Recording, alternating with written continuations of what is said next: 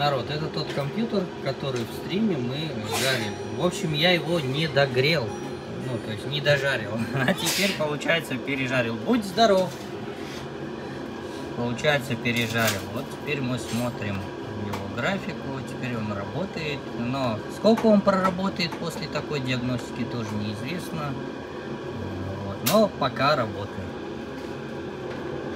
Конечно, у него и перегрев, потому что вовремя не обслуживали его. Это у нас i7 2011 года, двухгерцовка, на борту HD 3000, дискретка 40, какая, а 6490.